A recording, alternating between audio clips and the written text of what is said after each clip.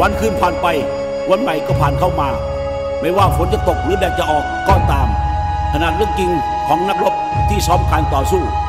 เพื่อให้ใช่ชัยชนะ แต่สุดท้ายก็ไม่เหลืออะไรเลย แต่พวกเขาก็ไม่เคย ที่จะหยุดการต่อสู้การ